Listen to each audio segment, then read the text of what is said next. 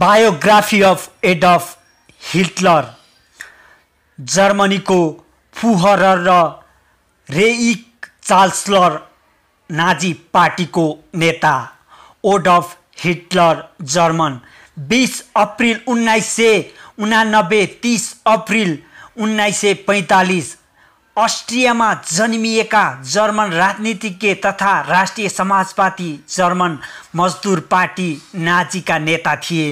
विश्वका क्रूर शासकहरूमा गनिन्छन्। उनी सन् उन्नाइस सय तेत्तिसदेखि सन् उन्नाइस सय पैँतालिससम्म जर्मनीका चान्सलर तथा उन्नाइस सय चौतिसदेखि उन्नाइस सय पैँतालिससम्म नाजी जर्मनीका शासक थिए।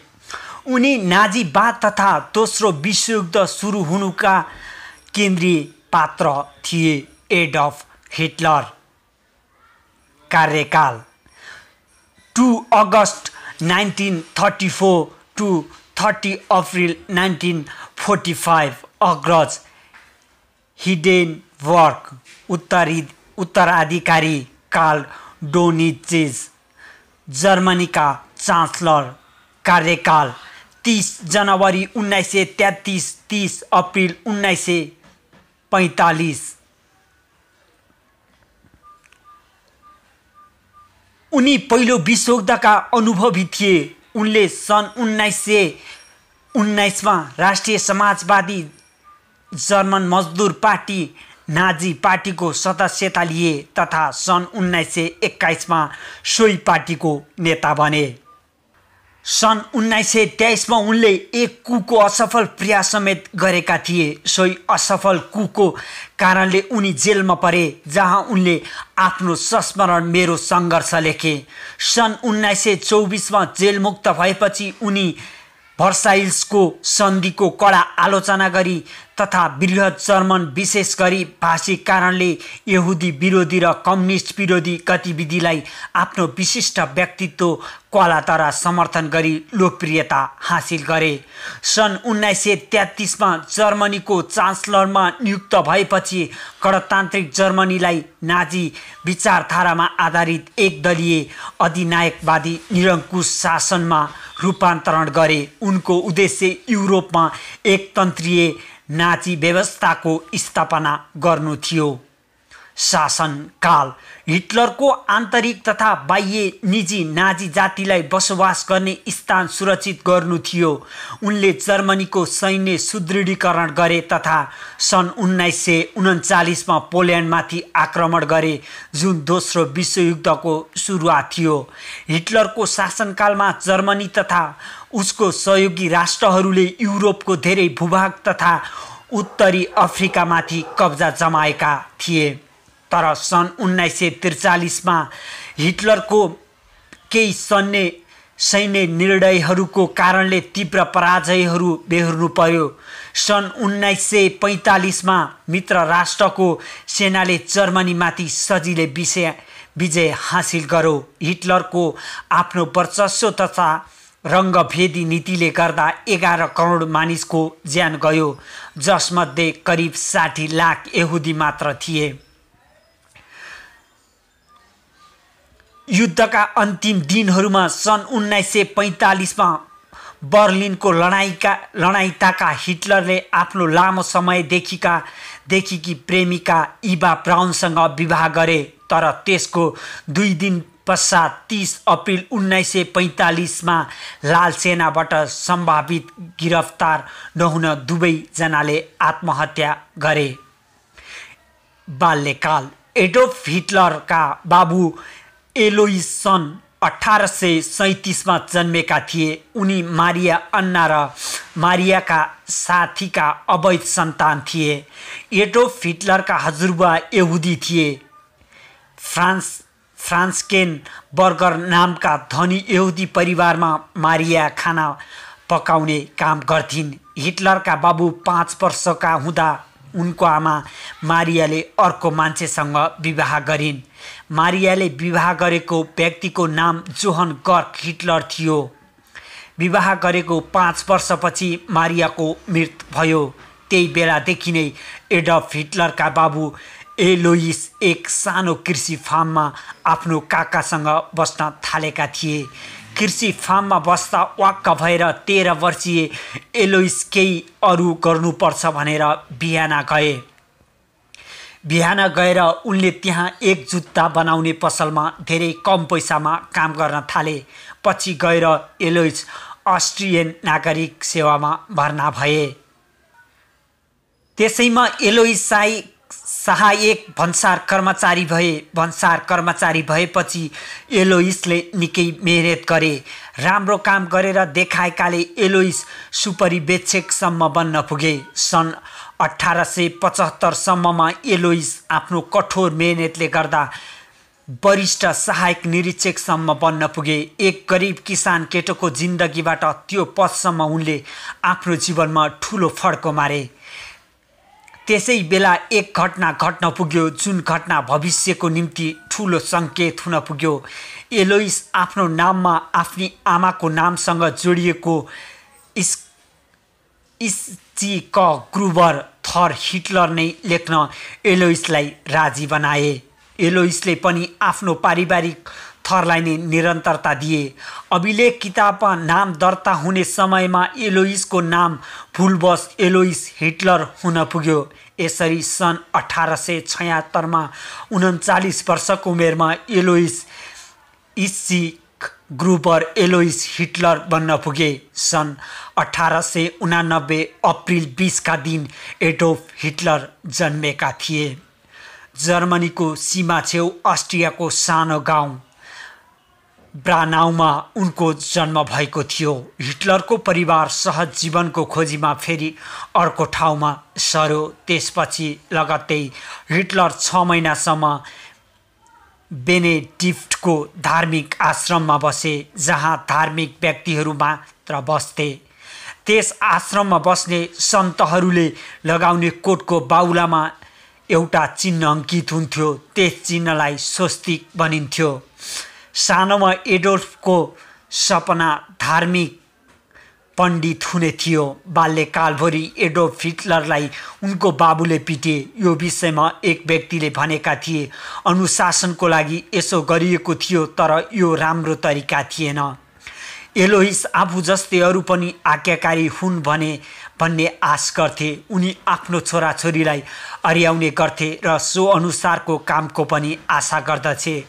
प्राइमरी स्कुलमा हिटलरले अति राम्रो गरे र अति नै राम्रो शैक्षिक भविष्य देखाए। उनको अगाडि उज्जवल भविष्य देखिन्थ्यो।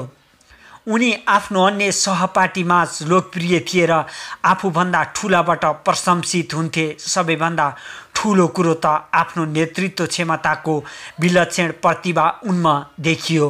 उनी अति धार्मिक प्रवृत्तिका बच्चा थिए। उनले आफू सन्त बन्ने कुरा पनि सोचे त्यही बेला हिटलर परिवार अस्ट्रियाको एक सहर लामबेकमा सरे। त्यो ठाउँ लिन्च र लम लजपर्गको बिचमा पर्थ्यो। हिटलरलाई यसरी सर्नुको अर्थ थियो खेतको कामबाट मुक्ति पाउनु र खेल्न धेरै समय पाउनु। त्यहाँबाट पनि हिटलर स्कुल जान थालेर स्कुलमा उनले राम्रो गरे। उनी एक धार्मिक स्कुलमा भर्ना भएका थिए। उनले त्यहाँ गीत गाउने केटाहरूको कोरसमा भाग लिए। उनी गीत राम्रो गाउँथे भनिन्छ। उनको राम्रो स्वर थियो। वर्षौँपछि हिटलरले भनेका थिए कुनै चाड उत्सव र क्याथोलिक समारोहमा उनी अति नै उत्साहित र खुसी हुन्थे र पछि उनका उनमा त्यसको गम्भीर असर पर्यो। हिटलरको परिवारले अचानक एक वियोगको सामना गर्नु पर्यो। उनका भाइ एडमन्डको छ वर्षको उमेरमा दादुराको कारण मृत्यु भयो। बच्चा एडोल्फ यो युद्ध सम्बन्धी खेल खेल्ने खेल खेल्न रुचाउँथे र काल्पनिक मृत्युको खेल खेल्थे तर यसरी पहिलोपल्ट पार्थ वास्तविक मृत्यु देखे। यसले एडल्फ गम्भीर असर पर्यो। उनको मृतक भाइलाई घर नजिकै चिहान बनाएर राखियो। एडप सुत्ने कोठाको झ्यालबाट यो चिहान देखिन्थ्यो। वर्षौँ पछाडि पनि कहिलेकाहीँ एडप फिल्टर राति चिहानमाथि बसेर आकाशमाथि हेरेर घन्टौँसम्म टोलाइरहेको टोलाइरहेका हुन्थे। कहिले भने झ्यालमा बसेर चिहानतिर हेरेर टोलाइरहेका हुन्थे। एलोइस जो हिटलर जन्मदा बाहन्न वर्षका थिए उनी आफ्नो छोराले राम्रो काम गरून् भन्ने कुरामा अति उत्सुक थिए। एलोइस अति कडा बाबु थिए। उनी आफ्नो छोराले भनेको नमानेमा निर्दयतापूर्वक पिर्थे एलोइस जुनियर जब तेह्र वर्ष पुगे उनी आफ्नो बाबुप्रति असन्तुष्ट भए। उनलाई बाबुले गाली गर्थे र पिट्थे पनि। एक वर्षपछि उनी चौध वर्षका भए। अब उनी आफू बाँच्न सक्ने भएर घरबाट भागे। उनका बाबुले उनलाई कहिल्यै भेटाएनन्। सङ्घर्ष त्यो बेला एडोल्फ मात्र सात वर्षका थिए। उनका बाबुले एडोल्फलाई पनि त्यही व्यवहार तोर्याए सन् उन्नाइस सय सम्ममा। हिटलरका हिटलरमा एक कलाकारको गुणा देखा पर्यो। उनले युनिभर्सिटीको तयार राम्ररी गरे। उनी त्यसको लागि योग्य पनि भए। हिटलर रिलसुलमा भर्ना हुने उनको बाबुको निर्णयमा सहमत भए।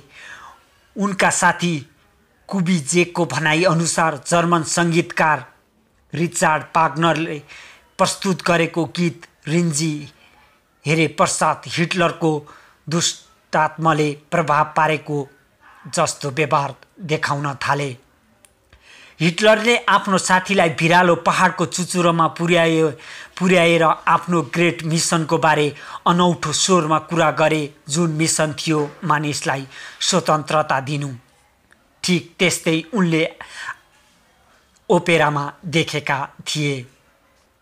हिटलरले पहिलो ओपेरा बाह्र वर्षको हुँदा हेरेका थिए। उनको अर्को महत्त्वपूर्ण चाक देखियो। त्यो समयमा त्यो हो जर्मन राष्ट्रवाद। उनी अस्ट्रियन राजतन्त्रको विरुद्धमा थिए।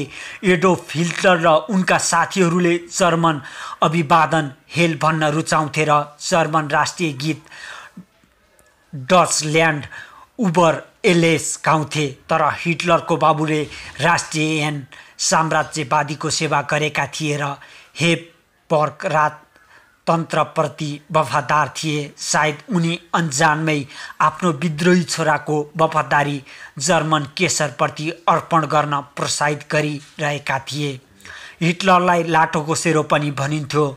उनी राति अबेरसम्म पनि सुत्दैन थिए। उनी राति घर बाहिर निस्किएर हिँड्थे। जब हिटलर अठार वर्षका भए उनले आफ्नो बाबुको सम्पत्ति प्राप्त गरे। त्यो पैसाले हिटलर कला पढ्न बिहान गए। हिटलरले एकाडेमिज स्कुल अफ पेन्टिङमा दुई दिनको प्रवेश परीक्षा दिए अनि अति नै आत्मविश्वासका साथ रिजल्टको प्रतीक्षा गर्न थाले। उनी स्कुलमा प्रवेश पाउने कुरामा ढुक्क थिए तर उनी प्रवेश पछि परीक्षामा फेल भए। बिजुली चम्के जस्तै महसुस गरे उनले। उनले बनाएको पेन्टिङबाट जजहरू सन्तुष्ट भएनन् त्यसकारण उनी फेल भए। यसले हिटलरलाई अति नै असर पर्यो। उनी कसरी फेल भए भन्ने कुराको स्पष्टीकरणको लागि एकाडेमी गए। त्यहाँ उनको पेन्टिङमा धेरै कमी कमजोरी भएको र खास गरेर मानव पक्षको कमी रहेको कुरा भनियो जे भए तापनि हिटलरमा आर्किटेक्टको क्षेत्रमा केही क्षमता थियो। उनी एक्लै बस्न थाले। एक ठाउँबाट अर्को ठाउँमा सर्थे। उनको पैसा बिस्तारै सकिँदै गयो। उनको जीवनस्तर बिस्तारै खस्किँदै गयो पैसा सकिँदै गर्दा पनि उनले कुनै काम गर्ने उपक्रम गरेनन्। उनले अनन्त आफ्नो सबै कुरा सके भिख माग्न थाले। राति सडक र गल्लीमा राखिएको बेन्चमा सुस्ते उनी फोहोरी दुर्गन्धित भएर फाटेका लुगा लगाउँथे सन् उन्नाइस सय नौ। डिसेम्बरतिर उनको हालत झन् नाजुक थियो। यहुदी परोपकारीहरूद्वारा सञ्चालित गृहहरूमा दिन बिताउन थाले। यो त्यो समय थियो जब हिटलरमा बिस्तारै यहुदीप्रति नराम्रो भावना विकसित हुँदै गयो जसले पछि उग्र रूपमा लिएको थियो राजनीतिक जीवन। पहिलो विश्वयुद्धमा ब्रिटिस सैनिकहरूले एक घाइते जर्मन सैनिकहरूको ज्यान बक्सिस दिएका थिए ती भाग्यमानी सैनिक अरू कोही नभएर हिटलर नै थिए। त्यसपछि उनले छानी छानी यहुदीहरू सिद्ध्याउन सुरु गरेका थिए। उनी यहुदीलाई सखा पार्न चाहन्थे। यहुदीमाथि धेरै अत्याचार गर्ने हिटलरकी पहिली प्रेमिका यहुदी नै थिइन्। बक्स बेगन बेटल कार बनाउने तरिका पनि उनले एक यहुदी इन्जिनियरबाटै चोरेका थिए। हिटलरलाई चक्लेट अत्यन्तै मन पर्थ्यो। चक्लेट खाइरहने उनको बानी थियो। हिटलरले इङ्ल्यान्डका राष्ट्रपतिलाई विस्फोटक चक्लेटद्वारा मार्ने योजना समेत बनाएका थिए तर त्यो सम्भव भएन। हिटलरलाई बिरालोसँग भने निकै डर लाग्थ्यो। आधुनिक विश्वमा हिटलर नै यस्ता पहिला व्यक्ति थिए। उनले धुप्रपान विरोधी अभियान सुरु गरे। अर्को कुरा मारकाटको राजनीति गरेका हिटलर मांसाहारी थिए होलान् भन्ने धेरैको अनुमान हुन सक्छ तर उनी शाकाहारी थिए। उनले पशु क्रूरता विरुद्ध कानुन पनि बनाएका थिए। हिटलरलाई ड्रग्सको लत बसेको थियो। उनी प्रत्येक दिन असी प्रकारका ड्रग सेवन गर्थे। उनको स्वास्थ्य धेरै बिग्रेको थियो। हर समय शरीर काप्ने गर्थ्यो। उनी आई ड्रपमा पनि दस प्रतिशत कोकिन मिसाउँथे। उनी पेट फुल्ने समस्याबाट ग्रस्त थिए। यसबाट छुटकाराका लागि उनी अठा अठाइस प्रकारका औषधि सेवन गर्थे। कलाकार चार्ली च्याप्लिनका निकै ठुलो प्रशंसक थिए हिटलर। चार्लीको जुङ्गा उनलाई खुब मन पर्थ्यो। त्यसैले त उनी चार्लीकै जस्तो जुङ्गा राख्थे। हिटलरका जुङ्गालाई टुथब्रस जुङ्गा भनिन्थ्यो। हिटलर चार्लीभन्दा केवल चार दिन मात्र कान्छा थिए। हिटलरका लागि त्यो सबैभन्दा खुसीको दिन थियो जुन दिन टाइम्स म्यागजिनले हिटलरलाई म्यान अफ द इयरको टाइटल दिएको थियो। सन् उन्नाइस सय अडतिसको घटना हो। सन् उन्नाइस सय अडतिसमा उनले नोबल शान्ति पुरस्कारको लागि नामाङ्कित गरिएको थियो। सन् उन्नाइस सय तेत्तिसमा हिटलरले जर्मनीको सत्तामाथि कब्जा जमाए। त्यसपछि उनको राज्य विस्तारको अभियान सुरु भयो। उनले आफ्नो विरोधीहरूमाथि अत्यन्त क्रूर व्यवहार गरे। राज्य विस्तारको क्रममा उनको सेना बर्लिनको पर्खालसम्म पुग्यो। पर्खासम्म पुग्यो जहाँ स्टालिनको रुसी सेना थियो। उनको राज्य विस्तार अभियान जर्मन अन्तर्राष्ट्रवादको घोतक थियो। उनकै कारण सन् उन्नाइस सय उन्चालिस उन्नाइस सय पैँतालिसको दोस्रो विश्वयुद्ध चल्यो। विश्वविख्यात तानाशाह हिटलरको मृत्यु सन् उन्नाइस सय पैँतालिस अप्रिल तिसको दिन भयो। वंश हिटलरका पिता आइलोस हिटलर सन् उन्नाइस सय सैँतिस उन्नाइस सय उन्नाइस सय तिन मारिया अन्ना सिंह ग्रुबरका एक नाजायज सन्तान थिए। आलोइसको जन्म दर्तामा पिताको नाम उल्लेख गरिएको थिएन। त्यसैले उनले आफ्नो आमाको थर पाए सन् उन्नाइस सय बयालिसमा जोहन नेपमुक हिटलरले अन्नासँग विवाह गरे। सन् उन्नाइस सय सत्तालिसमा आमा र सन् उन्नाइस सय छप्पन्नमा पिताको मृत्यु पश्चात हिटलरका दाजु उन्नाइस सय छयत्तरमा आएर मात्र आइलोस भए। यो आजको बायोग्राफी रहेको थियो एडफ हिटलर सम्बन्धी बायोग्राफी। हामीले यो विभिन्न अनलाइन मिडियाबाट साभार गरेका हौँ। यस्तै अरू न्युजहरूको पनि अरू बायोग्राफी उहाँको बारेमा अरू पनि न्युज र खबरहरू बुझ्न र जान्नको लागि हाम्रो च्यानललाई सब्सक्राइब गर्न नभुल्नुहोला। यहाँको पल शुभ बित्योस्।